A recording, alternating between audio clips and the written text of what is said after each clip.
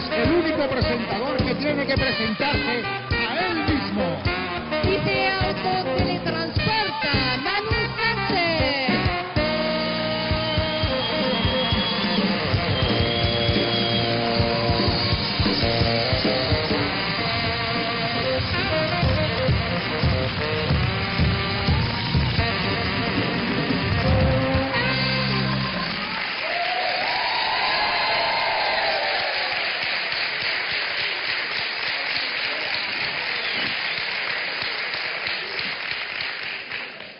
Señores, eh, es para nosotros un placer.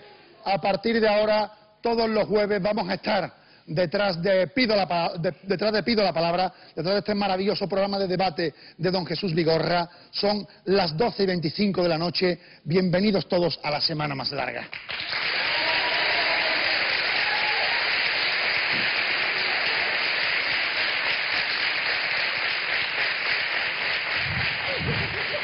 Mira, mira, mira, mira, mira. Mira, no, ven aquí. Mira, espera. Señores, riguroso directo, 12 y 25, yo he salido sin banquito, ahora pinchan al público y ven un banquito y la gente dice, ese es grabado. No, es la Carmen. Un aplauso para la Carmen. ¿Eh? ¡Qué cachondeo, eh! Señores, nos alegramos en Andalucía de tener un gran programa de debate, por fin, un sitio donde se pueda hablar, discutir, debatir, que últimamente no se puede debatir prácticamente de nada por culpa de la Wikipedia. Antes estaba tú, charlaba, pues yo pienso que el Madrid se fundó en el año no sé qué. Ah, pues yo pienso que el bozón de Higgs tiene también una subpartícula que es otro bozón spin, que es el bozón cuadrangular, que como no tiene carga ni de electricidad ni de color, pues no, interactúa con los glucones ni con los neutrones. ¿Qué dicen los neutrones? Los glucones tienen que interactuar por definición, cojones. Por el Madrid en el 1902. Antes estaba tú ahí y echaba la tarde. Ahora el más tonto de la pandilla hace ahí con el móvil y dice, la mira en la Wikipedia, el Madrid en 1902. Y yo, vamos a ver, señores. No. Estamos hartos. Es que no, es que de verdad, si en los juicios de aquí para adelante, en vez de jurar sobre la Biblia, va a haber que jurar sobre la Wikipedia. Señores, lo que está en la Wikipedia no todo es verdad, no todo es verdad. Busquen en la Wikipedia de Sevilla, pone que estudió ciencias políticas en la Universidad de Barcelona. Y no fue en Barcelona, señores. ¿eh? De verdad, vamos, vamos a centrarnos en cosas. Hay debates que tienen que, tienen que estar, hay que comentarlo. Eh, sinceramente, mm, mira, tú ahora con la Wikipedia no sabes. Todo el mundo que tenga un móvil con internet parece que sabe de todo. Antes tú lo veías de una manera diferente. Antes tú veías una pandilla y tú decías, ¿cuál es el más flojito de la pandilla? Era muy fácil descubrirlo. Tú los ponías todos en una pared blanca y decías, José, ¿eh? ¿Y cómo sabías tú que ese era el más flojito? Porque era el primero que la madre le compraba la moto. No le vaya a dar más vueltas. ¿eh?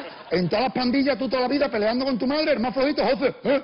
Una moto, del tirón. No se lo pensaban. Hay debates, insistimos, que tienen que estar. Están instalados en la calle y hay que comentarlos. Mira, hoy ya estamos en el 12 de octubre, ya estamos en el Día de la, de la Hispanidad. ¿Y qué mejor día hoy para abrir un debate que está ahí, latente, que es el debate de España y Cataluña, Cataluña y España. Ahora ha salido el ministro Wert ¿eh? diciendo que hay que españolizar a los niños catalanes.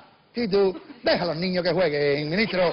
De verdad, mira, él lo tiene. Wert quiere españolizar a Cataluña, que es una cosa muy rara. ¿Cómo españoliza tú una cosa que ya es España? Es como si dijéramos, ahora queremos a lo mejor andalucizar dos hermanas. ¿Cómo se hace eso? Nosotros somos Andalucía pura y Cataluña, España. Eh, esto es cosa de la gente, de, la, de mujer mayor, de pueblo. Pues esto es más catalán o es más español, esto es más español, más catalán. La mujer mayor, tú pasas por tu pueblo y tú eres Sánchez y Vázquez. Y ya empiezan ellas a discutir y dice, mira, los andares son Sánchez. Y dice la otra, sí, pero la hechura es Vázquez, Vázquez, Vázquez. Pero mira, de aquí para arriba es la familia del padre. Sí, pero no diga tú, los labios es la madre clavado. Pero señores, claro que sí. Si es que mi padre es mi padre y mi madre es mi madre. ¿Entiendes? Que eso es así. Si quiero os explico lo de la semillita de papá, es lo de mamá. No has gastado nueve meses dentro de tu madre, sí. Y la de tiempo que habré estado viviendo dentro de los huevos de mi padre, que es muy. Eso es infernal.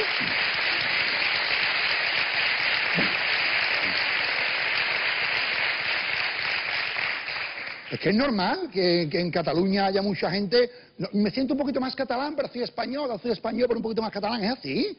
Tú tienes cosita de papá y tienes cosita de mamá. Que la reproducción es como es. Papá y mamá están ahí.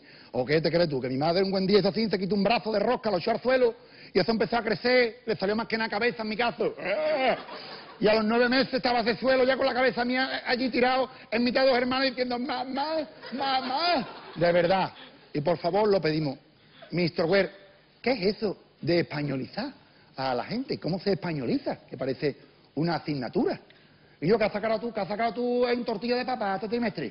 Oh, me han puesto un 9 porque la hice con cebolla y el profesor me ha dicho que eso, era para quitarle un punto. No, eh, eh, y yo, me, me han suspendido Ignacia. ¿Por qué? Porque fui con el chamo de la selección. No, no, de verdad, de verdad. Mira. Ojo.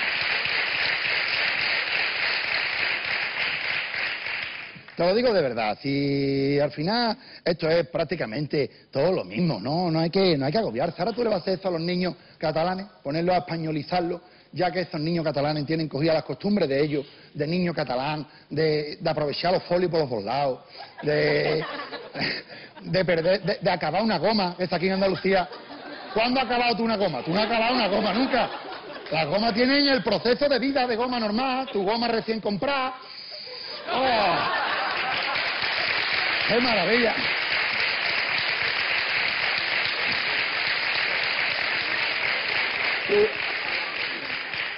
Tú, cuidabas tu goma, eh, tú cada vez que borraba con la goma y se ensuciaba un poquito, mm, le daba un poquito así y le quitaba lo negro, tú lo flipabas mirando tu goma con tu tortuguita en el patinete, de verdad, tú estabas flipado con, con tu goma hasta que un día se te iba la cabeza y le clavaba un boli en el medio.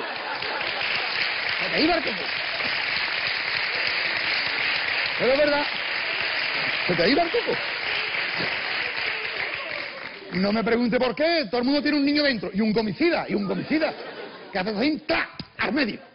Y claro, había un día que tú ya te pasabas de al medio, se te partía la goma en dos, y después de un tiempo esa goma, dando vueltas, estas dos medias gomas, dando vueltas por el estuche, hay un día que se perdía, y punto. En Cataluña no, en Cataluña tienen sus costumbres, esos niños acabando la goma hasta el final, esos niños, por ejemplo, que está feo, que tú los españolices, porque ellos están acostumbrados, esos niños catalanes, a salir al recreo y pagar un peaje para salir, para entrar, además. Ellos tienen, ellos tienen ciertas costumbres que no se pueden, no se pueden cambiar porque estoy viendo yo el plan, estoy viendo el plan. Es que ahora, para españolizar a los niños catalanes, lo primero que quieren hacer es quitarle que hablen catalán. Ya los quieren poner a hablar castellano. Ministro Ware, no te vaya a ir el coco ahora, ¿eh? No vaya a querer españolizarlo todo con lo del castellano, que español somos todos, pero cada uno que hable lo que tenga que hablar, ¿eh? No vaya tú venir ahora aquí a españolizarnos a nosotros, esos niños de aquí, intentando hablar castellano, no vale. ¿Por qué? Porque no. Hacerlo al revés. ¿Por qué no andalucizamos el resto de España? Le va a venir bien a los niños, niños de Madrid, le va a venir bien porque ahora lo coges tú con el pie cambiado. Están las madres madrileñas nada más diciendo a los niños, cómete las alcachofas, cómete las alcachofas. Niño, ingiere, por favor, ingiere. Cómete las alcachofas. Venga, venga, deglute, ingiere. Bueno, no, ahora el niño tiene ya en la cabeza alcachofas no, alcachofas no, alcachofas no. Vamos a andalucizar eso. Llega una vez, dice, niños, arcucil es lo que hay, para adentro, venga.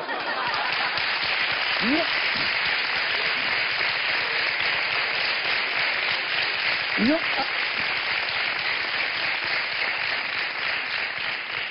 El niño de buena primera lo flipa, este niño madrileño, pero es que, es que, eh, alcociles que son, señora, eh, venga, con marcachofa pero con gracia, para adentro todo. De verdad, hay que tener cuidado, ¿eh? Hay que tener cuidado con lo de andalucizar eh, España, con lo de catalanizar Extremadura, extremadurizar Portugal, eh, portugalizar. Vamos a tener cuidado con esto, vamos a hacerlo en orden, si queréis. Mira, si esto es posible y viable, ¿por qué no hacemos una cosa? ¿Por qué no alemanizamos España primero? Yo creo que la gente se iba a adaptar rápido. Que ahora viniera Angela Merkel y dijera, eh, venga, vamos a, que cojamos aquí en España la costumbre de los alemanes. Y tú dijeras, no, que yo soy español, español, español, tres veces. ¿eh? Y te dijera Angela Merkel, venga, vamos a probar. Y tú, no, que yo soy español, español, español. Es que el sueldo allí en Alemania son cuatro mil pavos. Hombre, quien dice español, español, español, hay que viajar, hay que abrir la cabeza. Bueno, y Alemania es preciosa, también te lo digo. Cuatro mil pavos de sueldo, le pegas tú dos patas a un puchero y estás tú comiendo salchicha de lunes a lunes con dos boqueras del queso. Dos boqueras grandes. Mira.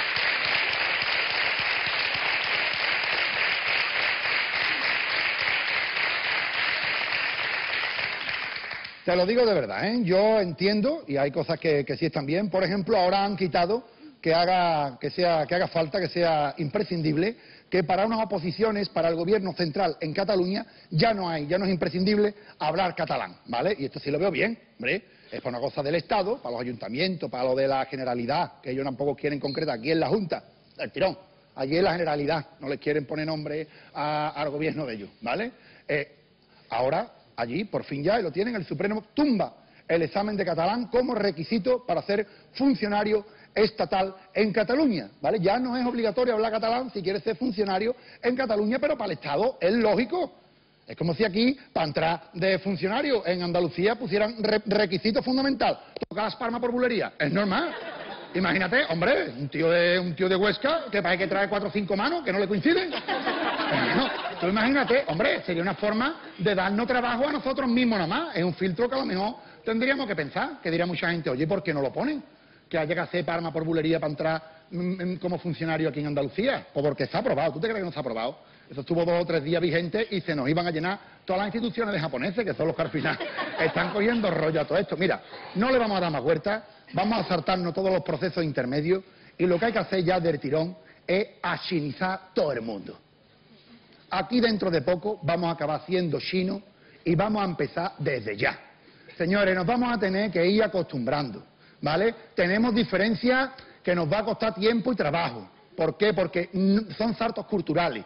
Mira, los chinos comen el arroz blanco y están amarillos. Nosotros comemos la paella, que el arroz es amarillo y estamos blancos. Ahí va un momento que vamos a tener un color muy raro, ¿vale? Mientras que tú vas dejando la paella y vas cogiendo el arroz hervido, vamos a ir teniendo un amarillo roto, un blanco mierda, va a ser desagradable. ¿eh?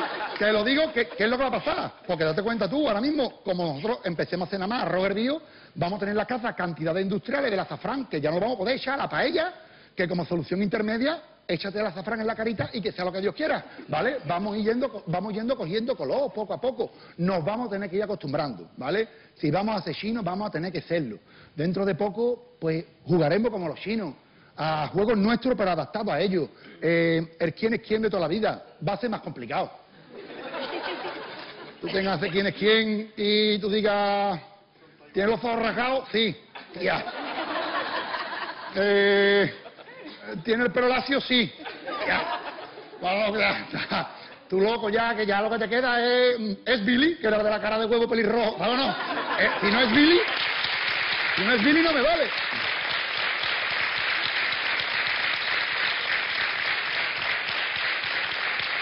Ahora, amigos chinos, una cosa os avisamos.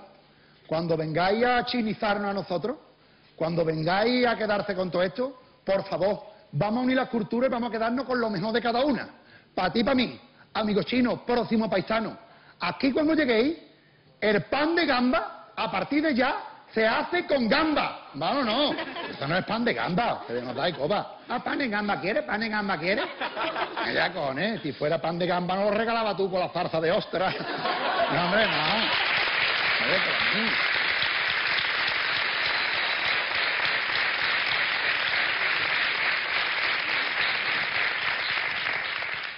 Mí. Así no celebrar coco poniendo la carta salsa de ostra y pan de gamba 0,50.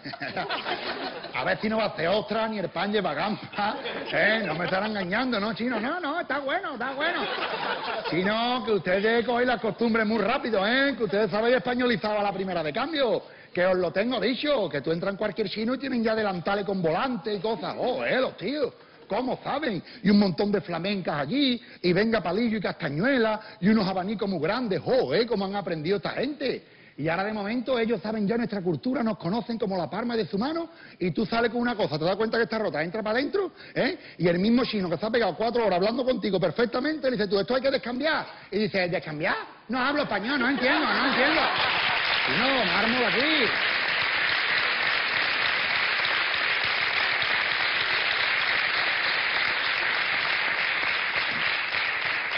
Señores, quiero que, que lo tengamos claro, ¿eh? quiero que, que lo tengamos claro. Va a ser cosas, hay cosas que son muy difíciles, hay cosas que van a ser prácticamente imposibles. Yo también un puchero con palillo, eso no se puede, no se puede. Una pringada con palillo es malaje, por favor, de verdad. Si es lo único que nos diferencia del resto de los animales. Esto que los andaluces somos un paso más en, el proceso evolutivo darwiniano. Te lo digo sinceramente. ¿Qué es lo, lo que nos diferencia del resto de los animales? Que nos reímos, dicen algunos. No, las hienas se ríen. Que fabricamos nuestras propias, eh, nuestras propias casas. No, los pájaros hacen sus propios nidos. Eh, que nos comunicamos, que hablamos. No, ahí tienen los delfines con un idioma más que desarrollado. Lo que nos diferencia del resto de animales es el dedo gordo.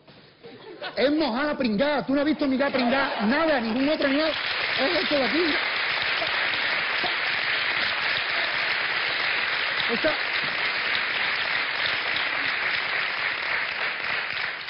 Esa capacidad de cálculo está fuera del alcance de cualquier otro animal que esté sobre la faz de la Tierra. ¿Cómo tú has calculado lo que hay de pringá y lo que hay de bollo y con el último pedacito se acaba el plato perfectamente? Clavado, señores, qué capacidad de cálculo y sobre todo, vamos a dejar las cosas como están. Es muy raro, es muy raro. Puede tener efecto rebote todo, puede tener efecto rebote. Hay que españolizar a los niños catalanes. Huert, tranquilízate. Además, tú tienes un cargo muy raro. Es el ministro de Educación, Cultura y Deporte. ¿Qué pinta deporte con cultura y educación? De verdad. No, esto es. eh, yo llevo esto y sale un futbolista. No, es que es millonario el Cheva, sí, pero que no haga lo de la napia, ¿vale? Que quedamos asquerosos. Educación y deporte por un lado y cultura por otra, de verdad. O que lo mezclen, que lo mezclen, que hagan ya deporte y cultura que vayan entrelazados. Por ejemplo, en vez de lanzamiento de disco, no, que yo, disco es cultura, lanzamiento de disco pirata, ¿me entiendes, no? Y lucha tú, lucha tú por lo tuyo. Eh, carrera de relevo, pero en vez de con el palito, eh, con los pilares de la tierra. Que pese, cojones, que pese, ¿vale? De verdad, de verdad. Tenemos que, tenemos que, tenemos que ir viendo en que esto de ir cambiando es una cosa muy extraña, ¿vale? Y sobre todo porque yo creo que el proceso ya se ha empezado. Y esto es irreversible. No se va a poder españolizar los catalanes ni catalanizar los andaluces. Mira que nosotros ya lo intentamos en su momento, ¿eh? Que mucha gente dice, hay que a los andaluces que emigraron para Cataluña. Estos eran unos servicios secretos que nosotros teníamos aquí, que lo que queríamos era ir andalucizando de abajo para arriba, ¿vale? Como una re reconquista, ¿eh? Y quedándonos con todo poquito a poco. Que de hecho se ha demostrado que iba, Cataluña iba mucho mejor cuando estábamos los andaluces allí que después, cuando nos hemos venido la mayoría, ¿qué es lo que ha pasado? Pues ahí lo tiene. Desde que no hemos venido los andaluces de Cataluña, no tienen cojones de acabar la iglesia. Allí la tienen. A mediar todavía. Asómate aquí, aquí están todas las iglesias terminadas. Con todos los flojos que somos. Señores, de verdad, esto ya ha empezado. Esto ya ha empezado. Y no se meta usted, señor Huer, por medio, porque aquí vamos a acabar chino todo el mundo. Mira, eh, el otro día, esta noticia creo que merece la pena ser enseñada. En Jerez de la Frontera, nuestros bomberos jerezanos eh, a modo de protesta, quisieron decir que estaban vendiendo el parque de bomberos y a modo de protesta pusieron un cartel con se vende tanto en los camiones como en el parque de bomberos. Pues ahí tienen el titular. Un chino se interesa por la compra de camiones de bomberos de Jerez al ver los carteles de protesta. Ahí está tío, ¿eh? Llegó, llegó el tío, ahí lo tiene tío, ¿eh? Ahí tiene el fenómeno, vio los carteles de se vende y dijo, por lo que no es malote, ¿eh? Ahí lo tiene. ¿De verdad?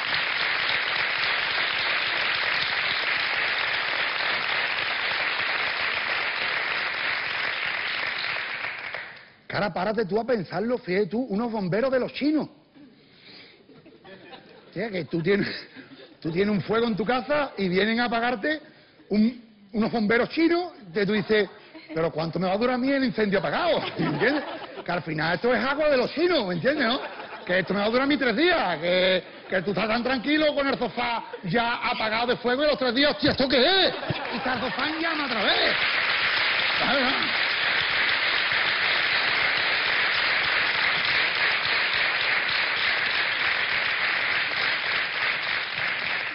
De verdad, de verdad, vamos a dejar de intentar achinizar, ni españolizar, ni catalanizar y sobre todo eh, vamos a ir dándole a esto una vuelta para no calentarnos muchas veces, señor Huer, eh, de verdad y sinceramente, ¿cómo va a hablar usted de españolizar a nadie con ese apellido? Huer, ¿qué es lo que es, cojones?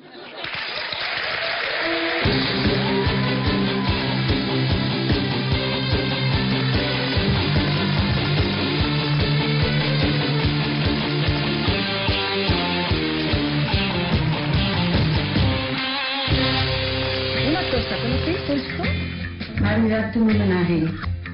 Tenemos a la Lori Virgen en este tema. No. Por mí tiene 65. Pero está como un rucho no sé lo que tiene, chiquilla. Una vez está en la de, paciencia y se come malísimo otra vez. Ah, sí. Mira, eso para mi marido sería estupendo.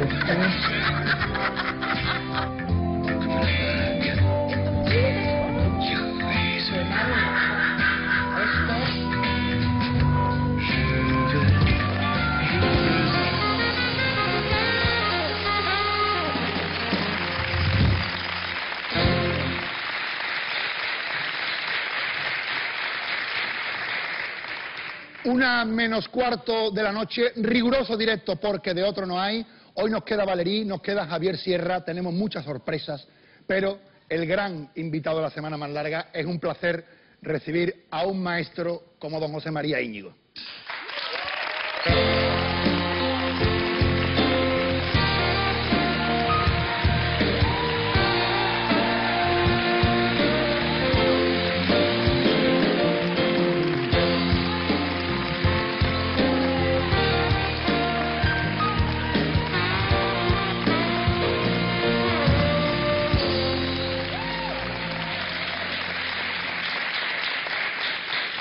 Buenas noches. Muy buenas noches. Eh, me sale lo de don José María del Tirón. Allá tú.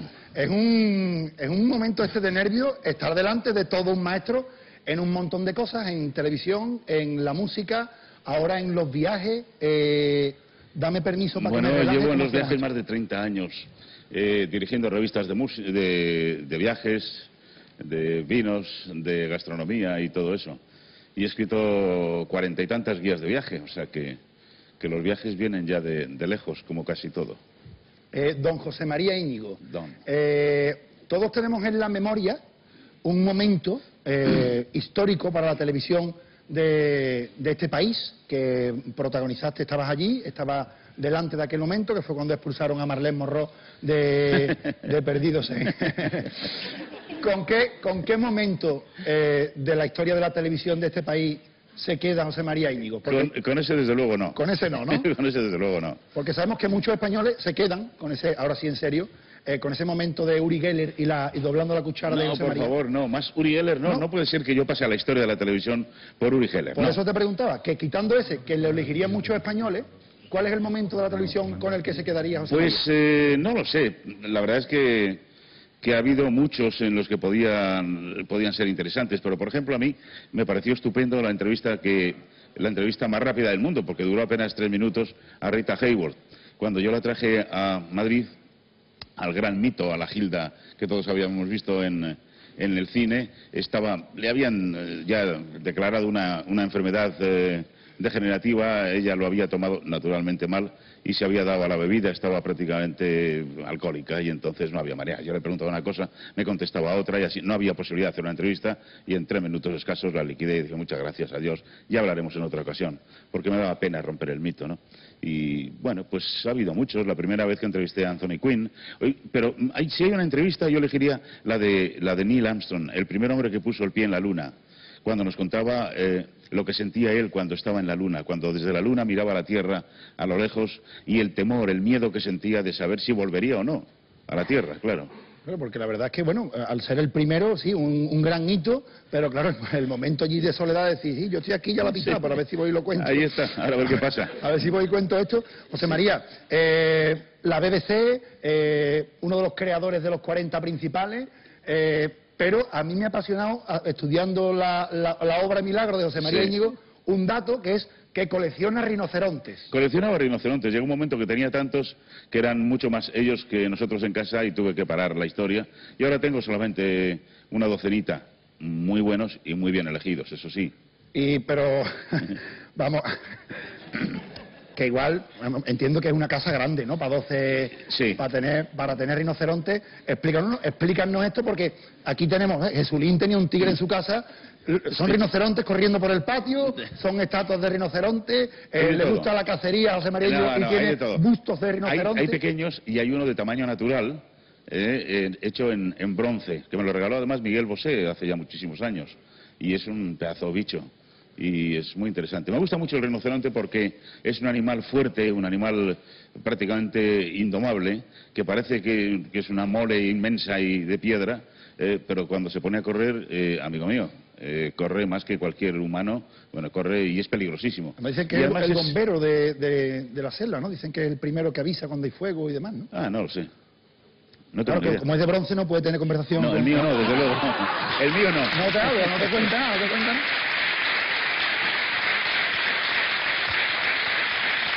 José María, me parece perfecto porque, a ver, ¿te gustan los animales grandes? Sí. ¿Te gustan los animales robustos? Cuando Sí. echan a correr, echan a correr. Sí. Eh, mm, como te gusta el rinoceronte, te gusta que tengan cuernos. Hay uno, el rinoceronte tiene cuernos, pero esto sería perfecto para yo presentarte quién viene ahora.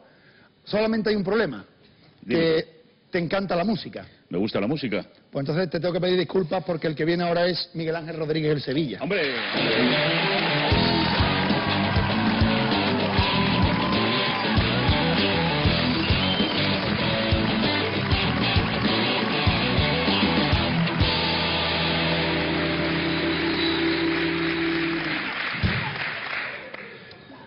Yo antes de que el Sevilla diga nada, eh, José María Íñigo es domador acreditado.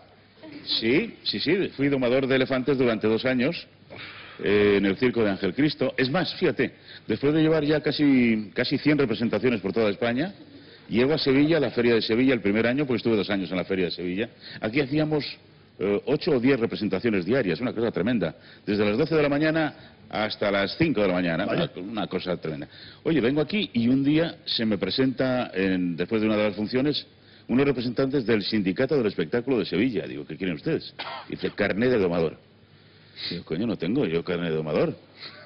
Pues usted puede estar quitando el empleo, el trabajo a algún domador que esté en paro. Así que o tiene carné o se acabó la... Hay domadores sindicados. Y entonces, bueno, ¿y ¿qué hago yo para tener un, un carné? Dice, tiene que pasar un examen. Digo, ¿y cuándo lo paso? Dice, cuando usted quiera. Una hora más tarde, cuando acabó la función, entre función y función, hice el número de los estos, pasé con éxito el examen, me dieron el carné, les pagué, que parece ser que era lo único que querían, y tengo un carné de domador de ¿Tiene elefantes. carné de domador de Sí, sí, sí, elefantes? sí. Perfecto. Del Sindicato Eh, del Espectáculo de Sevilla. ¿Caduca o tiene que ir renovando cada cuatro No, o cinco años? verdad- de momento es vitalicio, ¿no? La verdad que no le, no le he renovado. Vamos a levantar la liebre porque igual ya aparecen otra vez aquí. Lo mismo viene aquí ahora. Bueno, esto le va a servir, tiene, tiene el carnet de domador para lidiar aquí con la fiera de- del programa. Eh, Que mira, Está muy guapo con los zapatitos. Mira el zapatito. Mira el zapatito. Venga ya, hombre. hombre, No, no, no, no, no, no.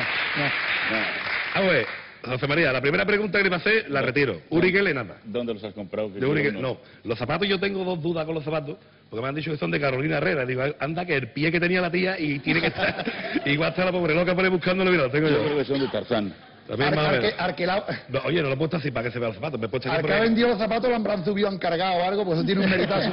Eso tiene un meritazo, hacer una prueba de El- fuego. lo que tiene mérito es el estilista que tenemos aquí, Pablo, que de verdad le has preguntado ante Íñigo por el Fíjate. momento televisivo suyo por excelencia. Cuando llega casi y vea el vídeo va a decir, mira Yo- la pinta de este, mira la oye, pinta del no- otro. No, te- no os lo vais a creer, pero yo he estado dudando. Voy con corbata, voy con traje oscuro y tal. Y luego, eh, en fin, eh, De- con, con estos haraposos, con estos haraposos.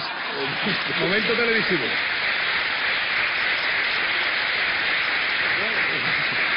Esta panda. Yo da gusto, la verdad es que da, da gusto. Yo, son de aquellas cosas, eh, eh, este tipo de, de personas son de las que le dice buenas noches y te cuentan una historia. Que yo, yo que ¿ves? quisiera conocer es Bueno, al, pues, al, al de la 13 de aquí de la televisión. Al que, al que ha puesto aquí Es el este... mismo que el estilista, es que hay poco presupuesto. Al que ha puesto aquí este sofá, le daba yo, pero bien, ¿eh? Sí, ¿verdad? Porque es muy cómodo para estar viendo la televisión en tu casa, pero para estar aquí, no es cómodo. esto, esto es una ruina. ¿Es cómodo esto? No, pero de todas ¿Tú formas... estás bien? Yo no, yo no, pero yo no me puedo quejar, claro, yo trabajo Yo aquí.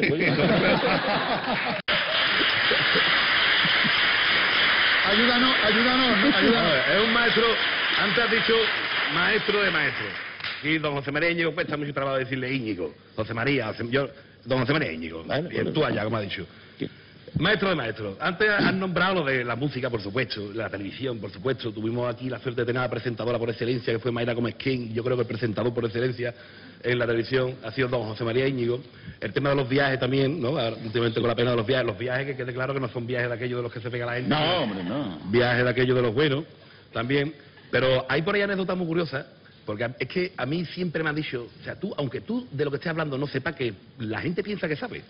Claro. Entonces, eh, muchas veces es tan importante de parecer que sabe de lo que estás hablando y no tener ni puñetera idea, que muchas veces hasta yo me creo que sé de lo que estoy hablando y no sé de lo que estoy hablando. ¿A que me entiendes? Sí, hombre, perfectamente, lo podría repetir. Y, ya- y hay una de las cosas muy curiosas que, que- que sabemos de José María es que ha llegado a ser profesor de francés sin saber francés.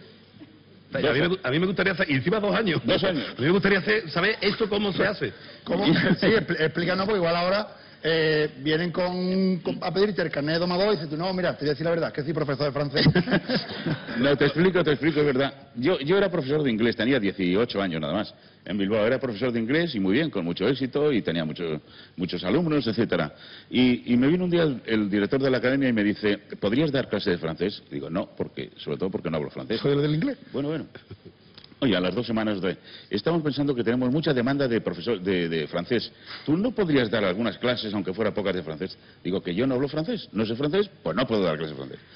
Me vino cuatro o cinco veces hasta que al final le dije, sí, desde el próximo día uno puedes decir que podemos dar clases de francés. ¿Ves cómo te decía yo que tú hablabas francés? Digo, pues ya está, venga, tú no te dale. acordabas, lo que no me tú acordaba. acordabas. Oye, ¿y ¿qué es lo que hice? Pues muy fácil, yo me apunté a una academia, a otra, a- para aprender francés. Y lo que yo aprendía el lunes lo daba el martes, lo que aprendía el martes lo daba el miércoles y lo del miércoles el jueves. Dos años. Y también, Lo curioso es que cuando alguna vez, cuando alguna vez alumna, eh, generalmente eran, eran alumnas, me venía y me decía, oye, mira, he encontrado esto en un periódico francés, ¿qué quiere decir aquí que no entiendo? Ch, quieta, no te distraigas. Solo la lección, solo la lección. Pues yo no sabía. también, solo la y otra cosa también, recomendable, súper recomendable, que, que todo lo que tenga Twitter lo siga por Twitter. Yo voy a recordar uno de, uno de los muchos super ingeniosos que mandó, un tuit, yo soy seguidor de, de, de Íñigo, yo, o sea, recomiendo que lo siga todo el mundo. Había uno que decía, a los karaoke hay dos tipos de personas que no deberían de ir. No, en los karaoke hay dos tipos de personas, los que no deberían de cantar y los que no deberían de beber.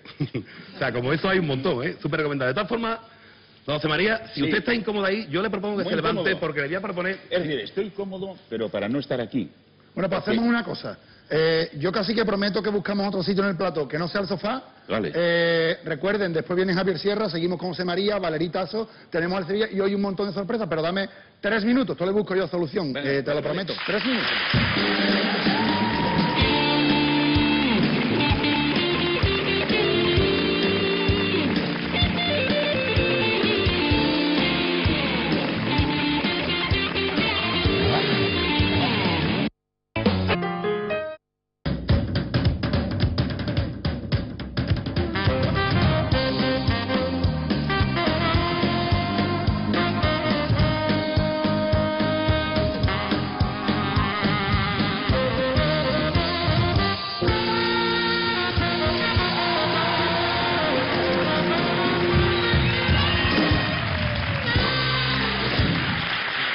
Público, ¿eh?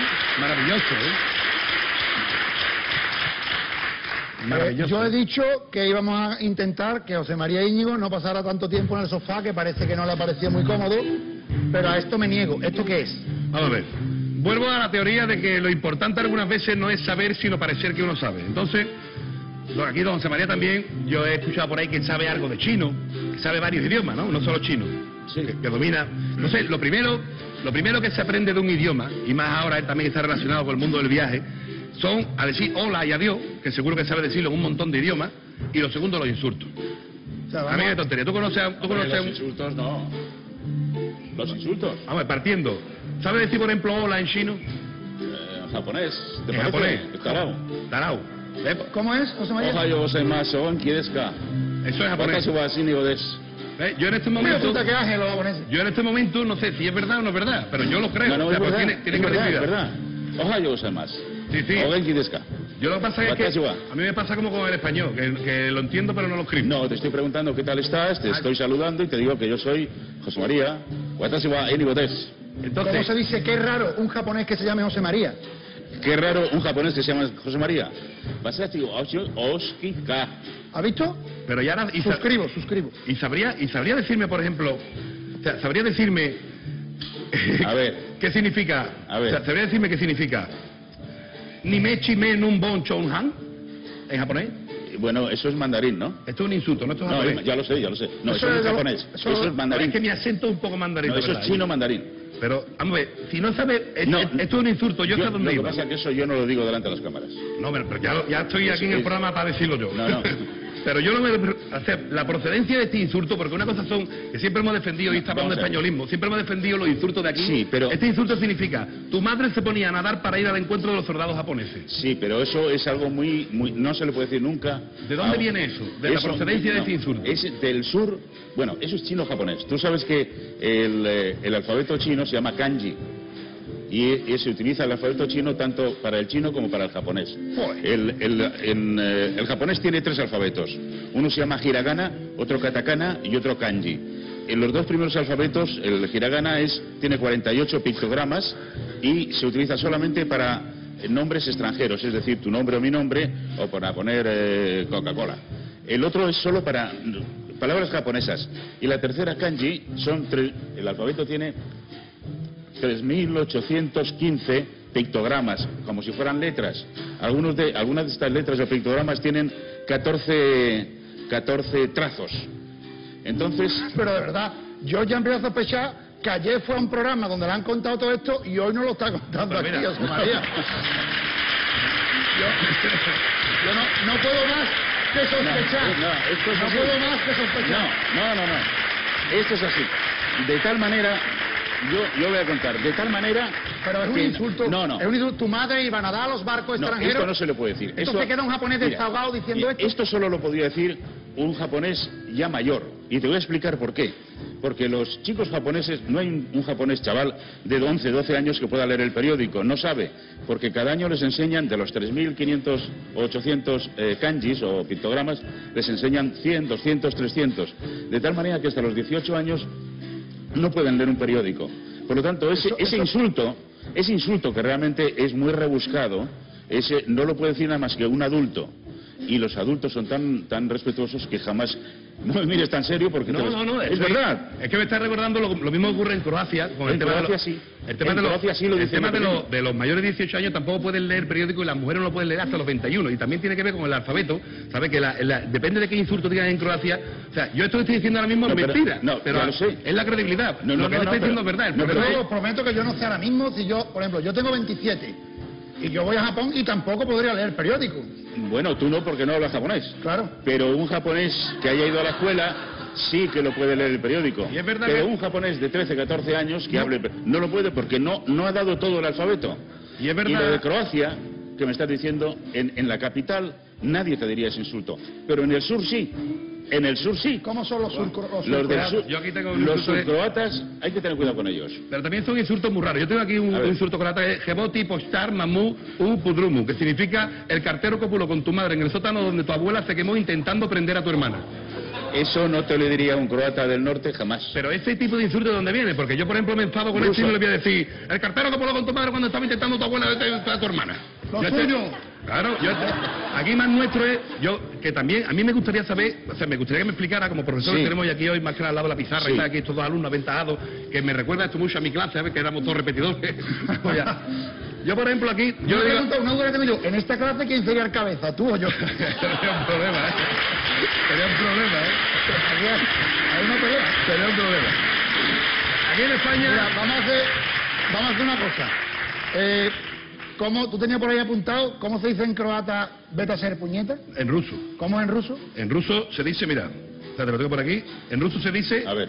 se dice, vete a hacer puñeta, puede decir, eh, la traducción literal Al es, carajo. vete a molestar a tu madre, vete al, eh, vete al carajo y tal. Eh, yo voy mat. Eh, pues Sevilla, yo voy a Mat, que me quedo con José María, ¿vale o no? Ah.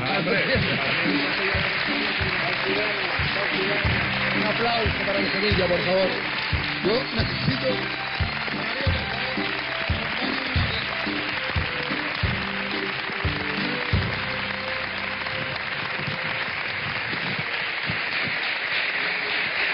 Me voy.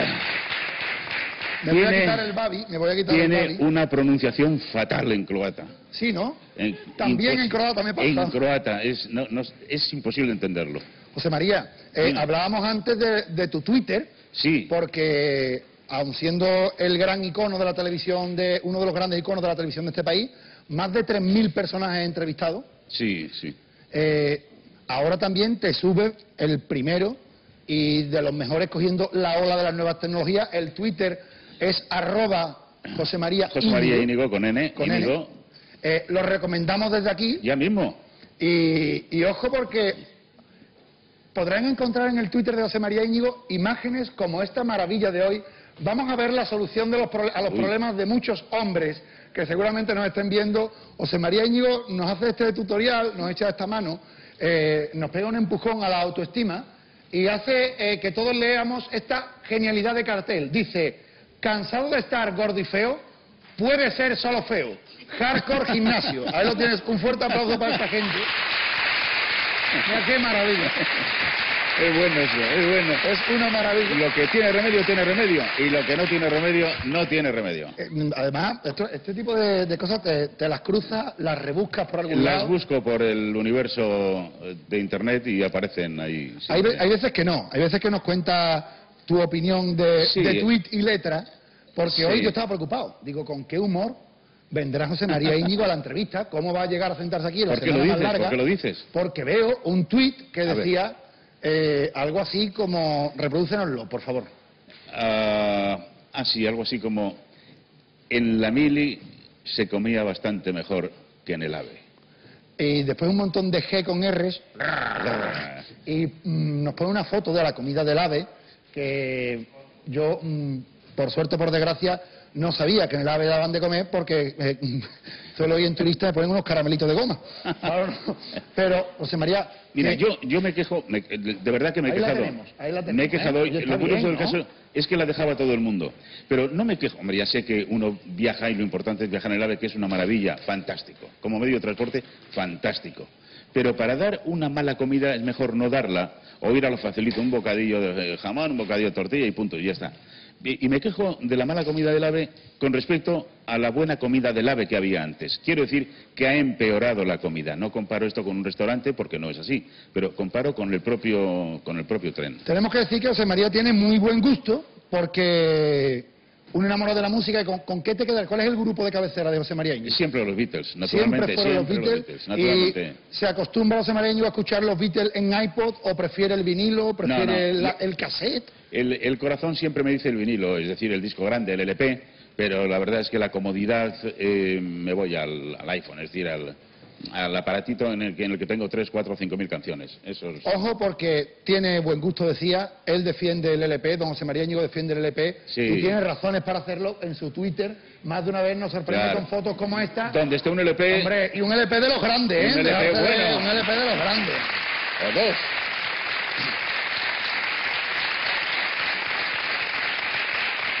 Esa foto, esa foto que puse en, en el Twitter ha tenido mucho éxito. Todo el mundo se ha pasado al, al LP, pero rápidamente. No, no, hombre, que no. y, pa- y por la cara A y por la cara B, si te apetece Uh, todo. por la cara. B, si la Eh. José María, Sí. eh, un hombre tan viajado como, como tú y un hombre que le gusta tanto la, la comida porque odias las dietas, Sí, que sí. es lo más raro que has tenido que comer Es por curioso, odiándolas tanto eh, y las empiezo todos los lunes. Las acabo el miércoles, pero las empiezo el lunes. Yo tengo una teoría también con las dietas, que cada dieta que uno coge dice que cuando más pierde es la primera semana. Yo Sí, haría la sí. primera semana de, un- de- de todas las dietas. Claro, buena idea. ¿no? Coge una dieta la primera semana, pierde mucho, cambia de dieta, otra vez en la primera semana y así cuando te das cuenta ha perdido un montón. No, eh, yo, yo he hecho la última, la de eh, la dieta Dukan, y me ha ido muy bien. He perdido 18 kilos. No, hagas, no, no digas lo que estás pensando y como estabas antes. No digas nada. No, no, yo la única vez que he visto perder gente tantos kilos tan rápido fue cuando invirtieron en sello los de Forum y eso. es lo único que he visto que perdieran kilos tan, tan rápido. Te- te- me gustaría ponerte en una, en una tesitura extraña. A ver, Mm, Una de tus fobias y una de tus filias. Eh, con un regalo que tengo aquí abajo. A ver. Eh, yo pido un, un redoble, por favor, bambino. No sé qué vas a hacer con este regalo. Eh, nos lo comentarán luego. Pero te encanta comer, sí, te encantan los rinocerontes, mucho. que hará José María Íñigo con una cosa como esta.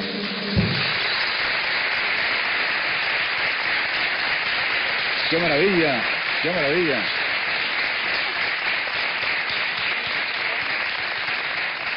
Me la llevaré al agua y mañana la reparto entre los pasajeros. Perfecta Cuando la comida, Un aplauso. Cuando dé la comida, nos comemos la tarta.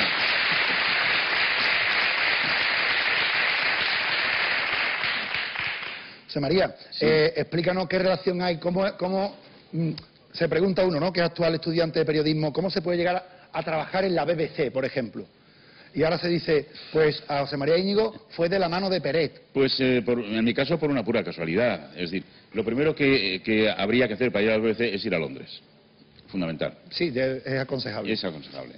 Y yo, yo, la verdad es que yo ya trabajaba en la radio con los discos en Madrid, en, en Bilbao. Me fui a Madrid porque quería trabajar en Madrid. Cuando llegué a Madrid me dijeron en la SER, que era donde yo trabajaba, "Hombre, de provincias aquí no, chico, que tú de provincia, venga, que para otra vez para Bilbao. Y me echaron prácticamente, me dijeron que, que ahí solo jugaba la primera división y yo estaba en segunda. Bueno, entonces me fui a Londres para volver siendo el de Londres y ya en primera división, pero especial, especial. Pero claro, yo tenía que venir con algo, quería trabajar en la BBC y era imposible, imposible. Y tocaba todas las puertas. Y en una de las puertas que toqué, pues de repente, cuando estaba hablando al tipo y explicándole, mira, yo tengo un problema, yo quisiera trabajar, entonces me dijo, un momento, just a minute. Y entonces cogió el teléfono y parece que se le planteaba a través del teléfono un problema muy grande. El problema muy grande, según me explicó, era que le venía un español cantante de, de- de Madrid, que no- el intérprete les había dejado y que necesitaba un intérprete español. Digo, "Ch, aquí estoy yo, yo me ofrezco. Y entonces me ofrecí. Dijo, además, si es cantante, yo conozco a todos, dígame quién es. Me dijo, Pérez. Es un cantante que se llama Pérez. Digo, joder, no conozco a ningún Pérez. Digo, ¿Que sea "¿Cómo puede cantante?". Cantante Pérez, no conozco a ninguno. Y me fui al aeropuerto con él, a Heathrow, con el señor en cuestión, y cuando salió por la puerta el tipo, hombre, José María, hombre, Pérez, ¿qué hace? Era Pérez, no era Pérez. Digo, no, Sí, eso una no- letrilla para ellos también. y era Pérez y sus gitanos, y hombre, a partir de ahí hice intérprete con ellos, cuando me dijo, bueno, ¿y esto cuánto vale? Dice, yo nada. Y, por cierto, ¿usted a qué venía? Digo, mire, yo es que yo soy locutor de la radio, quería trabajar en la BBC, para...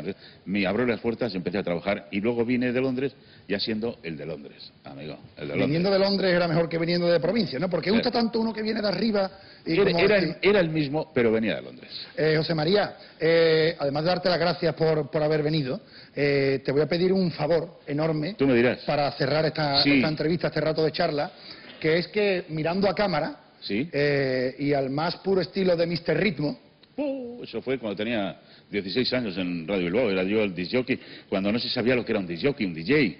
Mi madre me decía todos los días, hijo, esto no será malo, ¿no? Digo, no, mamá, no, es malo. pues yo creo que al más puro estilo de Mr. Ritmo y como creador de los 40 principales eh, y como aficionado y como gran enamorado del mundo de, lo- de ¿qué es los lo que viajes, quieres? ¿Qué es lo que quieres? Quiero que vendas al estilo de Mr. Ritmo Andalucía eh, como enamorado de, la, de su comida y de, y de su... y, bueno, Andalucía en general. Fíjate. Gran sitio de rinocerontes, pero tenemos... Mira, para, para vender Andalucía no es necesario hablar mucho. Cuando uno habla mucho de algo, es que, es que ese algo no vale nada. Yo recuerdo un anuncio que vi cuando tenía 14 o 15 años de un, de un bañador. Bañadores Meiva. A lo mejor no te suena de nada, Sí, pero sí, sí, era una marca. Mi- El anuncio decía... Mi padre, gran portador de Meiva. sí, el, el anuncio decía, nunca tampoco vistió tanto. Me pareció estupendo.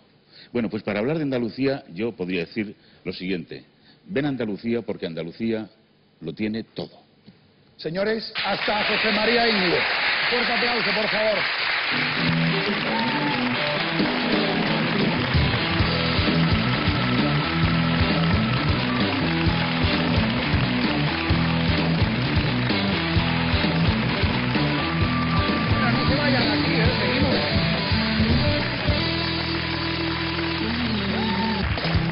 Cosa, ¿conocéis esto?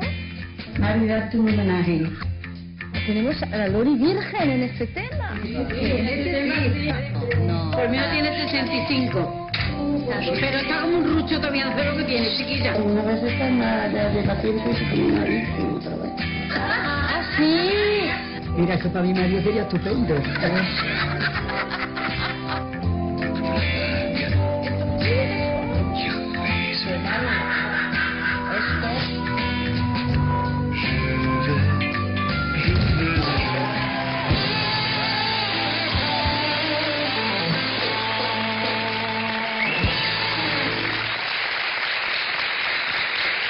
gente.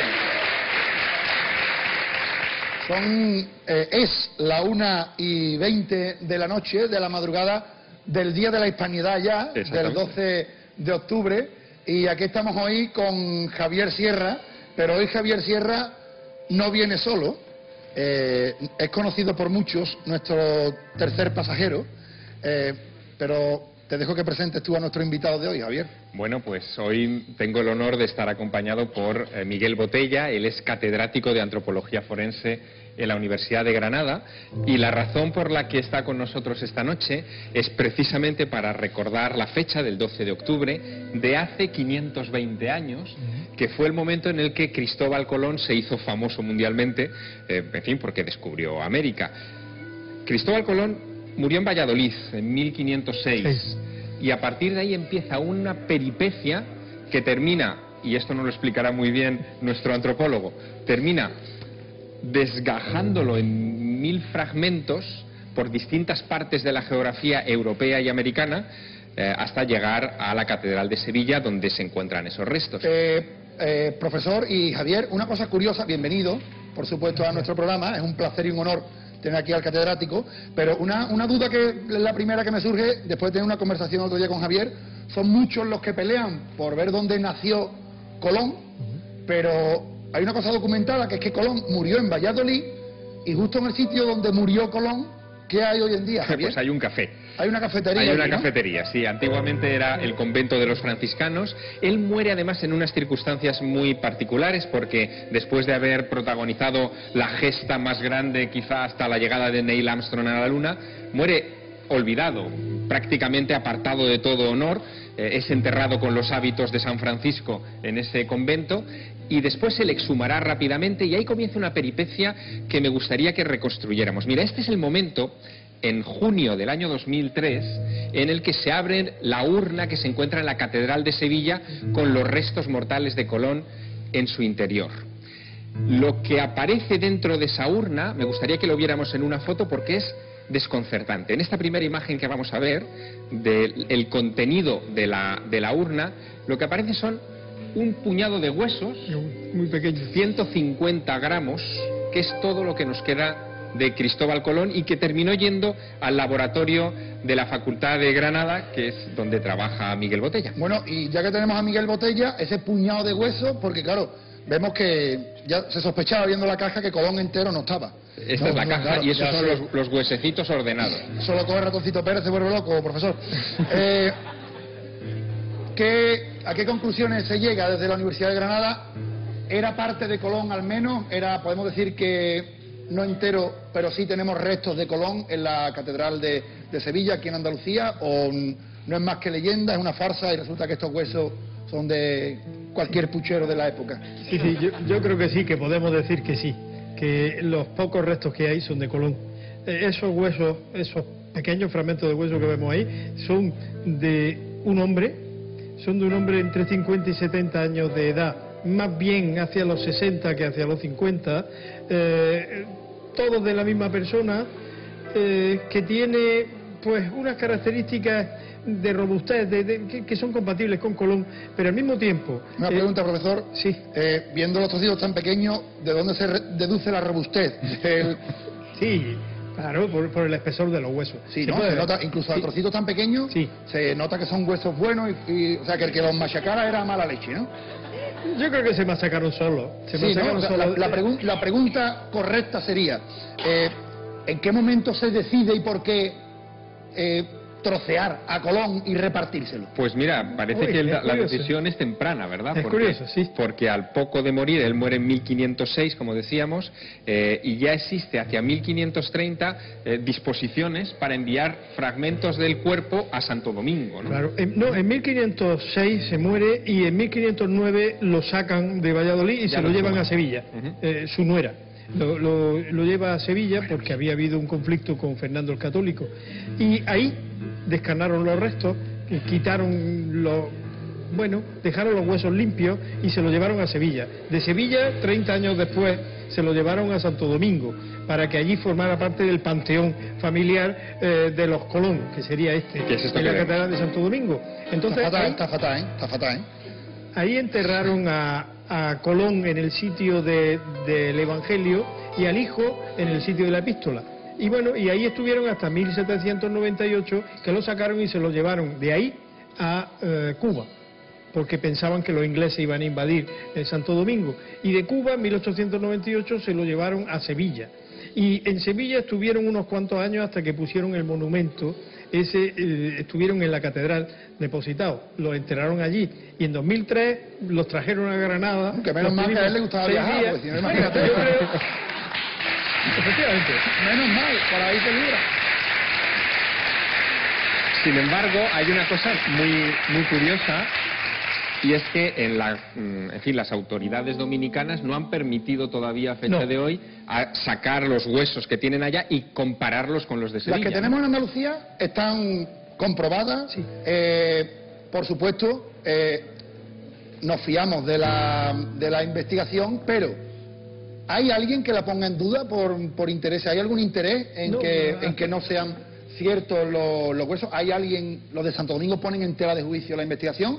¿O hay, No. hay más que pruebas No, para, para darle con ese Creo estudio que en a la cara? pesar, a pesar del escaso número de huesos, creo que es concluyente y creo que esos son huesos de Colón. Ahora bien, puede haber en otro lugar. Claro. Eh, mm, De hecho, en Italia parece que hay algún fragmento y en Santo Domingo eh, apareció una sepultura y entonces los dominicanos mm, hicieron ese monumento a Colón, ese faro, y dijeron que los españoles se habían equivocado y, y que eran los verdaderos allí.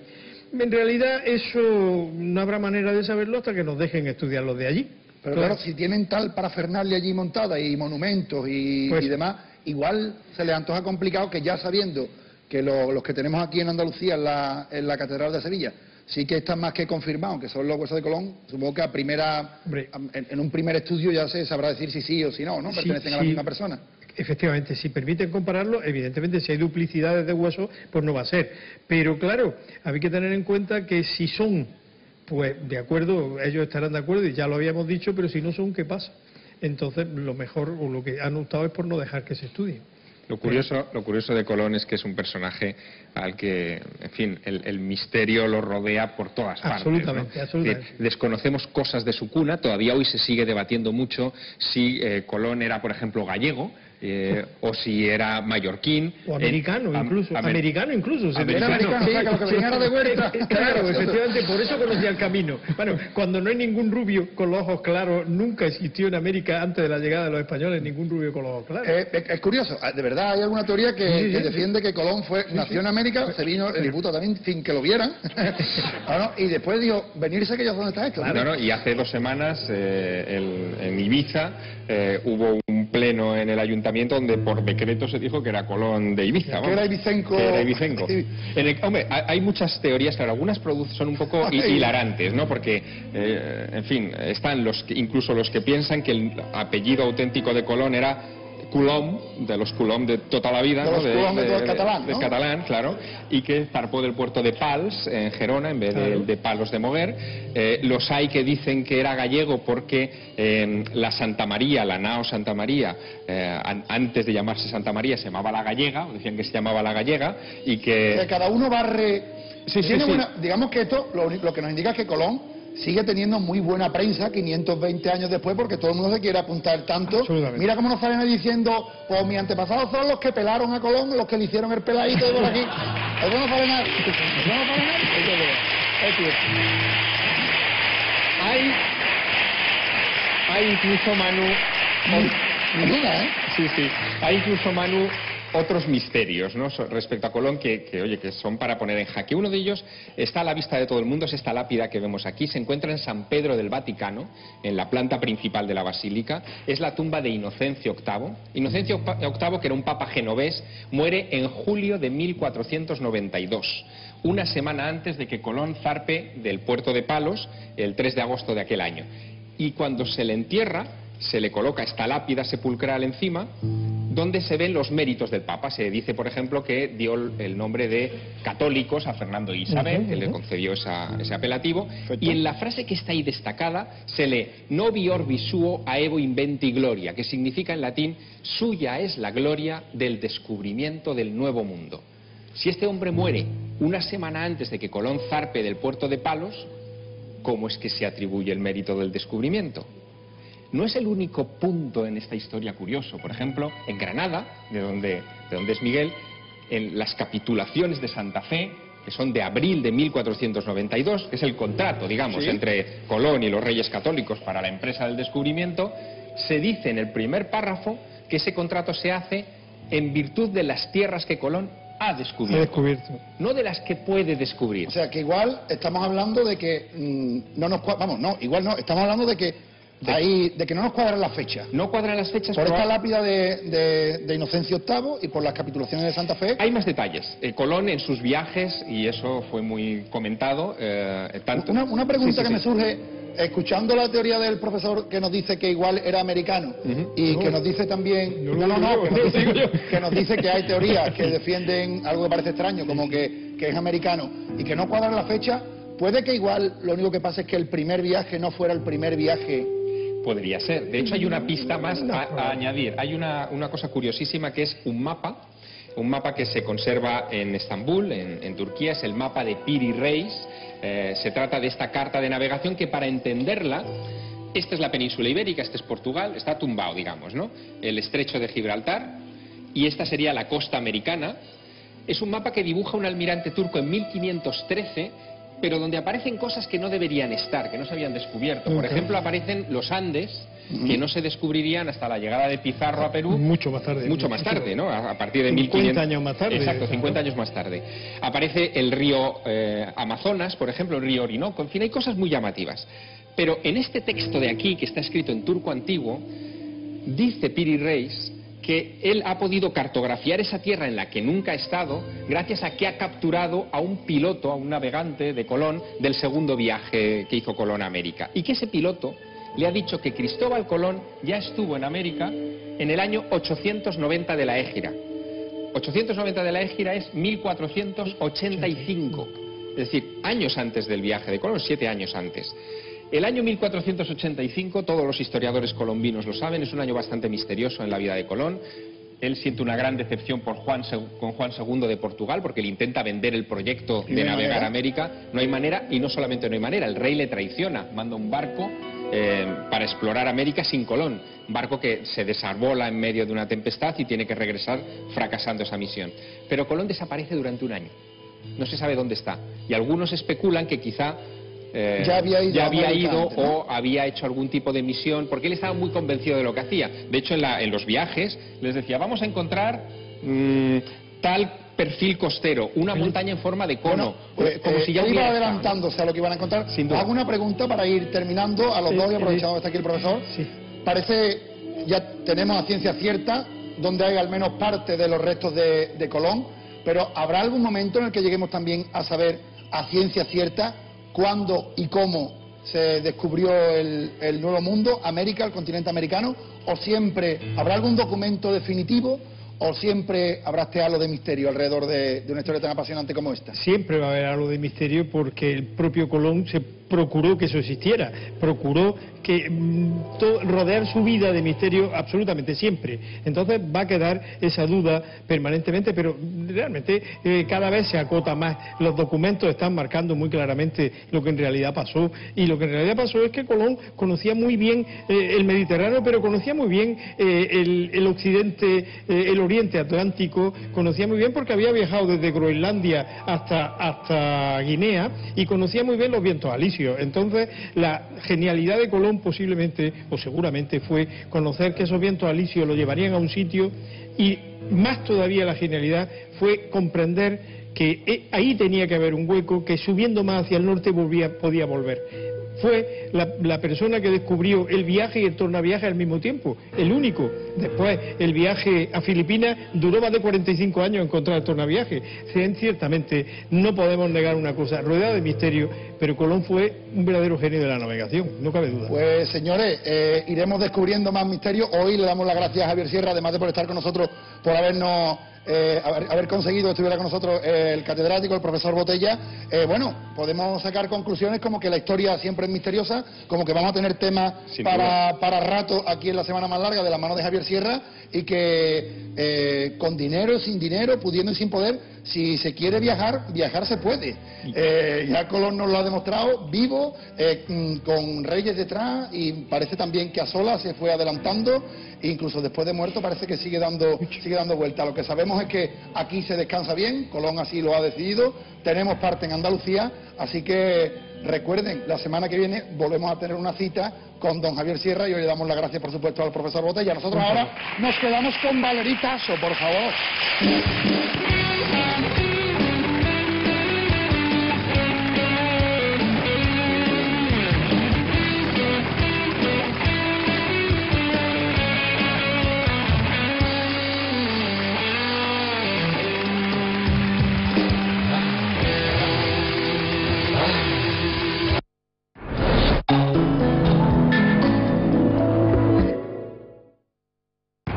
Familia, vengo a proponerles algo muy sano, vivir de forma más saludable con el libro El método de la báscula. Aquí van a encontrar trucos, van a encontrar consejos, recetas y todos los secretos del programa de televisión. Lo pueden conseguir, pues miren, por un lado se pueden acercar a su librería más cercana o más fácil aún, llaman al teléfono 902 530067 902 530067 De verdad, además el coste de la llamada es local. Únanse al reto de la báscula. Su salud se lo va a agradecer.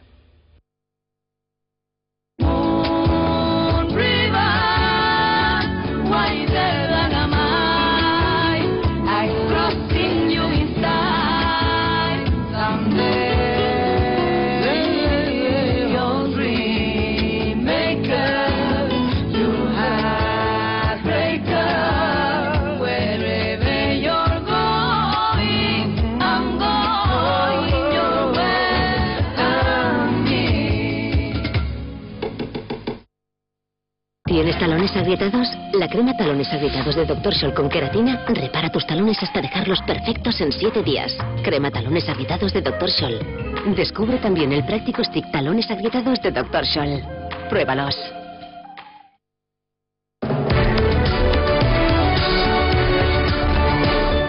Hola amigos, mañana va a ser uno de esos días inolvidables para nosotros en la radio. Vamos a hacer el programa en directo cara al público desde el Hotel Barceló Beach Resort de Punta Umbría. Estarán los fantásticos y Olga Bertomeo como siempre, pero también habrá actuaciones musicales, entre otros Arcángel o Los Marismeños. Y finalmente un premio inolvidable que os va a solucionar las vacaciones a uno de los que estéis allí. Mucha atención y no lo olvidéis, traeros el abanico, ¿eh? A partir de las 10 de la mañana, aquí estamos en directo en Punta Umbría, Hotel Barceló Beach Resort. Os espero. Rafa Cremades en Aquí estamos.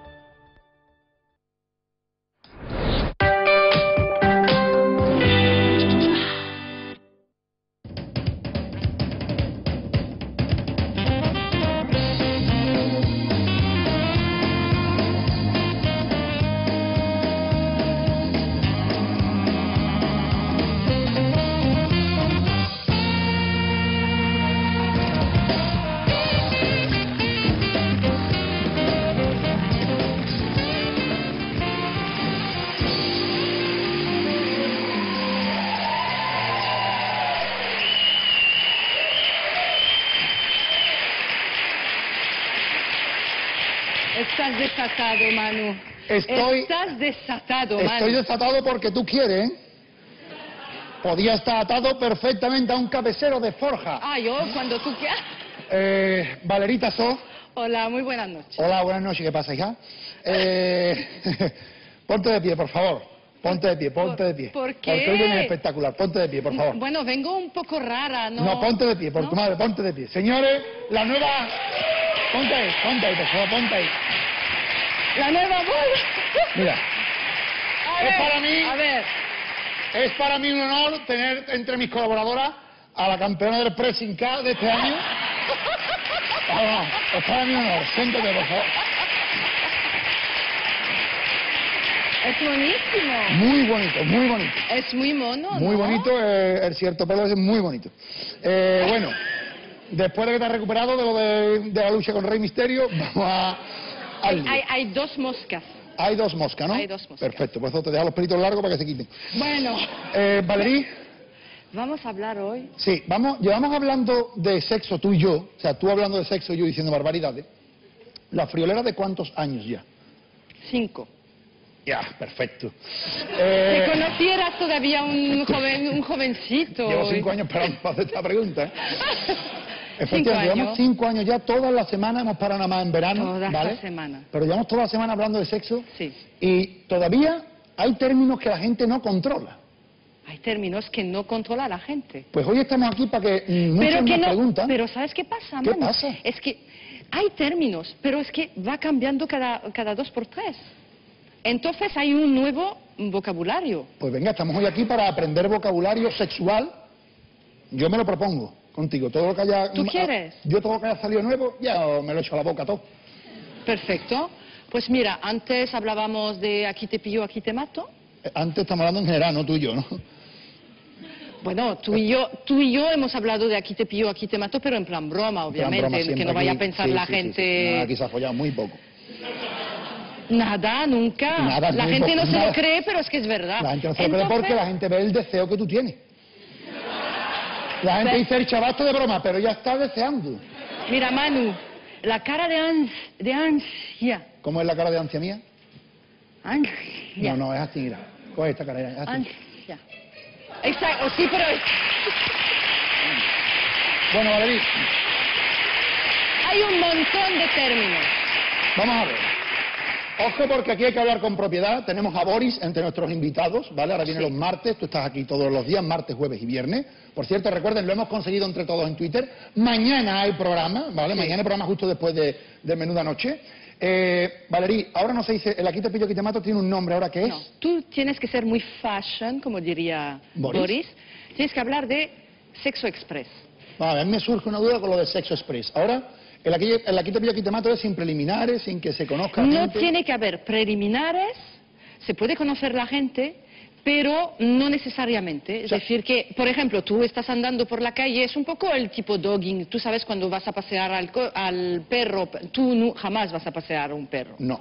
Por lo tanto, tú el sexo express así... Bueno, sin perros. Bueno, sin perros, es vale. para que lo entendamos. Tú vas pasando por la calle, te tropiezas y cuando está abajo ya hay otra ahí y ¿qué ha pasado? Pues ya está dentro. Exacto.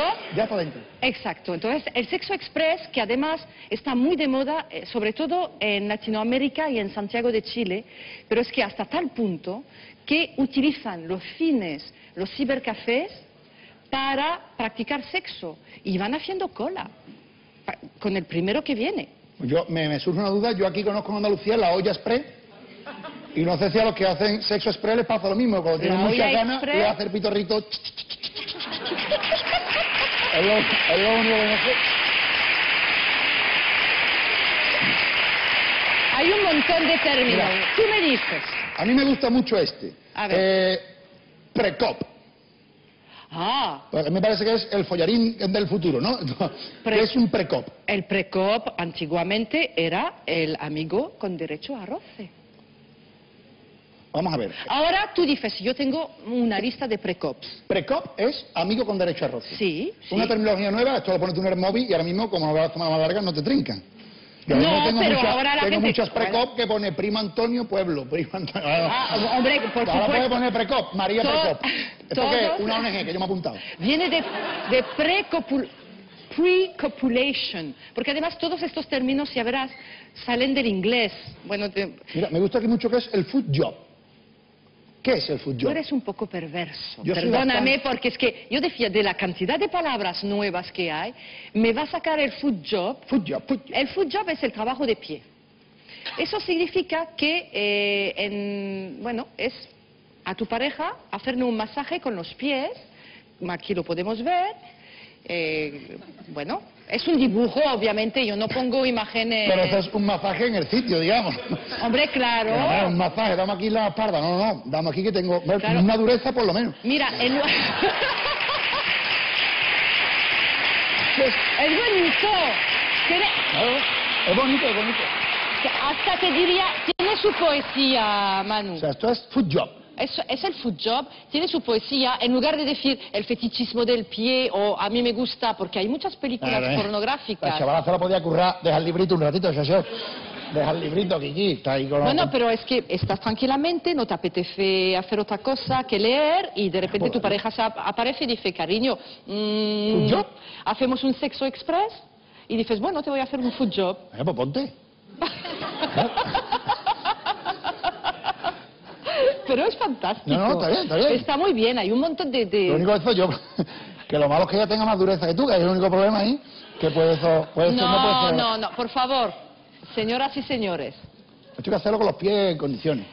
cortaros las uñas, haceros la, la, la pedicura impecablemente, porque claro, es que, pero ojo, como hay gustos para todo, a lo mejor hasta gusta un food job con, iba a decir con callos y todo, Mira, me gusta el tickling, tickling. El tickling. Yo fui yo, voy a hacer. Sexo express, voy a intentarlo.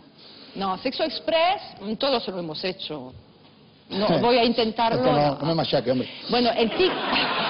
Todo lo hemos hecho. Sin conocerla de nada, que fácil. El, el tickling viene de tickle, to tickle, que significa en inglés eh, hacer cosquillas. Tickling es hacer cosquillas. Hacer cosquillas. Entonces, ¿qué pasa? Que tú, si quieres avivar un poco la pasión en tu pareja, a veces a las parejas les encanta que se vayan haciendo cosquillitas y, y entonces, bueno, pues se llama tickling, es una modalidad que no es tan eh, nueva, ¿eh? No te creas, no te creas. Pero mm, al final estás metiendo mano arriba, abajo, por todos los lados, ¿cómo acabas, Manu? Hombre, no, mm, acaba. Acaba, acaba- te ríes, te ríes, acabas sacándole la camisa, Ah, ya que estamos riendo, los riendo, no pantalones. Aquí, date la vuelta. Exacto, date la vuelta, jijiji. No, ¿eh? Pues no Parece cosquillas. inocente. ¿sabes? Valerí, estoy encontrando por aquí cosas muy curiosas, la verdad es que creo que esto vamos a tener para un montón de días, pero por ejemplo está, me interesa ahora que es la sex diet, la dieta del sexo. Mira, aquí no he traído ninguna imagen porque tenemos el ejemplo vivo de la sex diet, la dieta del sexo, que consiste en practicar sexo de manera muy regular para perder eh, peso. Aquí tenemos, señoras y señores, a Manu Sánchez. Manu, ponte de pie. Ahora ponte de pie, Manu, ponte de pie. Ven aquí, ven aquí, cariño. Por favor.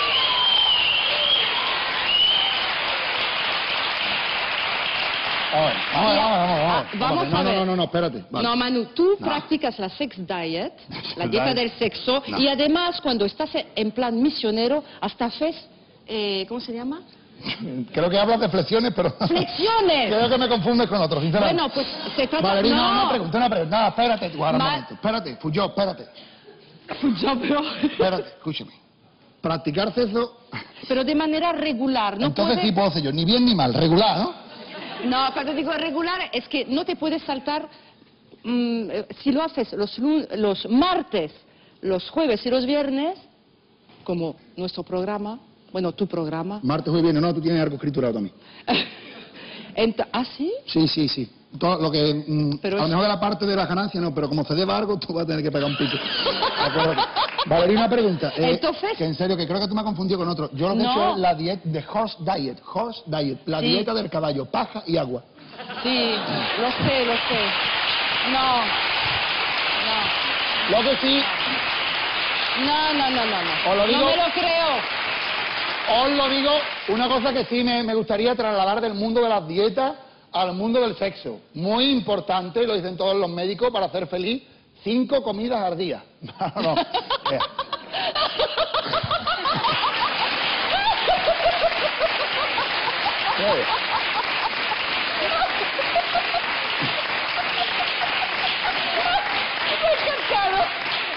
conociéndote y lo que come.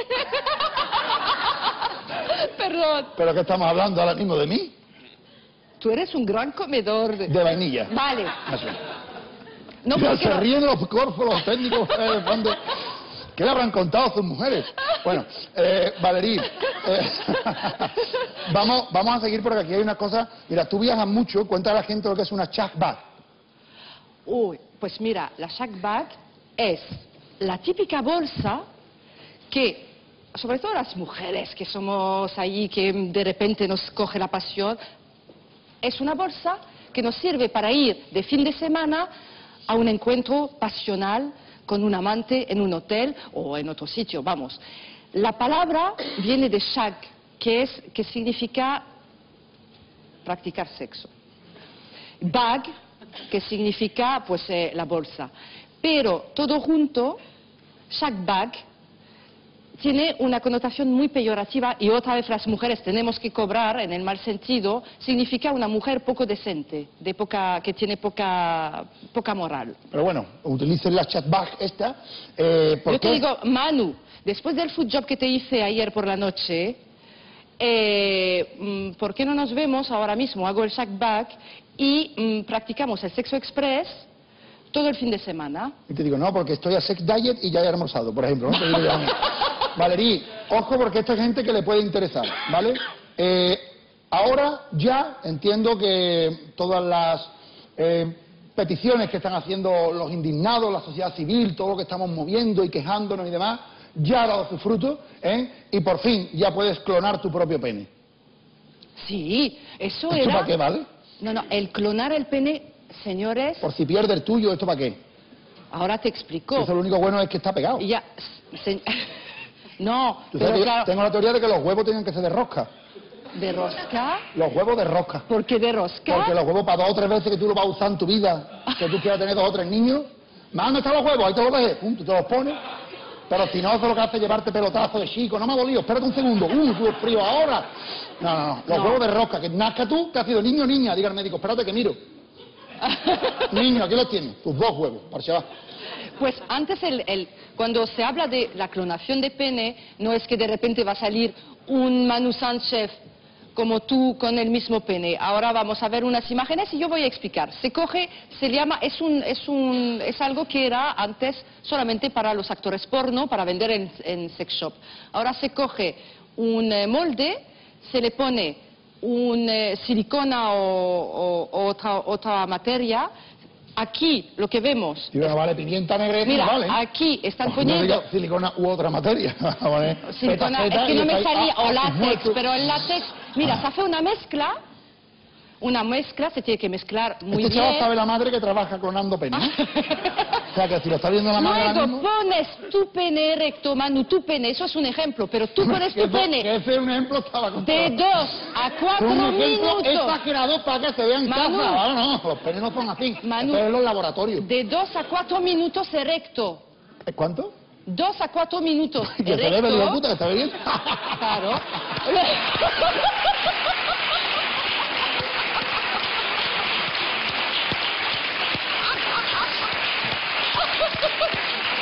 Tienes que escúchame. Yo voy a ver, yo voy a ver gacho este, ¿no? Con la, con la batita y eso, ¿no? Sí. Y yo tengo que estar con el nota ese dos o tres minutos erecto. No, tú solo, tú te lo Dios mío, pero por lo menos que se quede el cabrón y me sople la orejita o algo, ¿no? Ah, hago un tío... A ver, a ver, ¿cómo tío? Mira, mira, mira. Mira. Mira, después de haber puesto el molde, ahora lo que está haciendo este señor, porque también lo puedes hacer vibrando, entonces está poniendo un dispositivo y tienes que esperar 24 horas Ya y después tú te, de tú te puedes ir a tu casa, ¿no? Y lavarte, que vas ¿no? a tu casa y mira Uh, lo mira, que sale. Un frigo polla, está comiendo. ¡Qué bonito! Mira, es igual. Es igual. Es igual el pepino. El pepino es igual. Manu, esto es revolucionario, se llama Clone a Willy. ¿Cómo se llama? Clone a Willy. Clone Willy, ¿no? Clone, de, de clonación, de clonar. Willy, en- Willy, Willy, carajo en inglés, Willy es la manera... Es la manera de hablar de, de- de tu pene, por ejemplo, ¿no? Entonces, eso es revolucionario porque antes solamente Rocco Siffredi o Nacho Vidal podían hacer estas cosas y además se hacía en otras circunstancias, pero tú compras el pack, tienes el molde, tienes la silicona, tienes eh, otro producto seguramente para darle más consistencia, incluso puedes eh, ayudar... Sí, estoy pensando esto para qué, tú dices, ¿Para qué? Cuando, cuando llega Reyes, y tú qué regalo a mi padre, que tiene de todo. Pues, No. pues Tú eso, un morde de tu pene. Pa, ¿tú te acuerdas de chicos que le va a comer churrita a mi niño? Ahí lo tienes. A tu novia, Manu. A tu novia. Manu, tú eres un hombre muy ocupado. Vamos, ver, vamos, a ver. Un momento. Esto no se le puede regalar a la novia. Escúchame, Manu. Ah, Valerie, escúchame, si es lo único... Eres un hombre ocupado, No, no, no, no, me- tienes tiempo, ya no, te- ya no hay excusa de que tu novia no pueda disfrutar Escúchame, de ti. Valerie, de, de la... Una de las poquitas cosas que le interesa a mi novia de mí, ¿se la voy a dar fuera parte de lo otro? no, te tienes que quedar con el pack completo, como tú le dices a tu novia, borra tu número del móvil automáticamente. Es que eso no habla, no da ruido, no ver furbo, Ya no sé, eso no da pero para ruido. salir de un momento... Esto lo tiene ahí para cuando quiera, no da ruido. Para tener, para tener Me preocupa esto porque dice que el hombre del futuro tendrá el cerebro y los testículos más pequeños. Mira, esto me parece genial. Yo cuando vi esto dije, no me extraña. Vamos a ver, el hombre del futuro, de- cuando hablamos del futuro, y aquí tenemos una imagen... Pero el futuro no es mañana, que nos vamos a levantar. No. ¿Qué te pasa? Dentro de mil años Ah, aproximadamente... mil años dan a nosotros igual. unos científicos... Dentro de mil años dan a nosotros igual. A pesar de que, de que han dicho que todos vamos a acabar mujeres, y la verdad es Yo que... te lo digo, yo acabo mujer y estoy todo el día duchándome. ¿Por qué? Para verme, cojones, y todo el día jabonándome. Mira. Todo el día jabonándome, jabonándome. Mira, Manu. El hombre del futuro, dentro de mil años aproximadamente, va a tener el cerebro y los testículos muy pequeños. Porque, bueno, el cerebro, ¿por qué? Porque ahora Internet y el uso de, de- de la plataforma de, Internet, obviamente, la memorización, etcétera, etcétera, ya no funciona como antes. Por lo no tanto, sé si esto es es una parte del cuerpo que ya no utilizamos. Yo no estoy de acuerdo porque sí, tú puedes buscar muchos datos, pero ¿cuántas contraseñas le tienes tú que acordar ahora? No había pensado en eso. no lo de Internet, con la teoría de Internet no estoy yo, pero que estén los testículos más pequeños no le veo problema. ¿Por qué? Bueno. Porque se ve la picha más grande. Pues no necesariamente. ¿Sabes lo que va a ser grande? ¿El qué? Las manos Oh, más sensibles, los ojos, es decir, que vamos a comunicar. claro, porque tú te levantas con los huevos y dices, no los veo, no los veo. Y da- los pongo como plato y dices, sí, tú ahí los Los tienes. ojos así. ¿Y sabes lo que vamos a tener más pequeño? ¿El qué? Y eso va a ser un problema para muchos hombres. ¿El qué? La boca. Que vamos a tener más... Y menos dientes. Bueno, para los grandes comedores. O sea, que el y risita es para un hombre del futuro, ¿no? Es lo que tú estás Y diciendo. para el- eh, la felatriz que, que sabe hacer una buena felación, es que es un problema. La boca va- se va... Me imagino yo a los viejos dentro de mil años diciendo, ah, los niñatos se están perdiendo las bocas grandes y los huevos gordos. Se están perdiendo, hombre, no se ven ahora. Valerín, Los testículos. ¿Por qué van a ser los testículos más pequeños? Preguntará la gente. Claro. Es muy sencillo, porque con la poca calidad que tiene eh, pues, eh, los espermatozoides hoy en día, pues ya no hace falta tener eh, unos eh, testículos tan grandes, es que ya no servirán casi. de todas maneras que hagan una encuesta si queremos dos más chicos o uno más gordo. Eso habría que preguntarle. Eh, este punto en medio no le encontramos sentido del todo. Señores, eh, mañana creo que ido de Tupper Sex.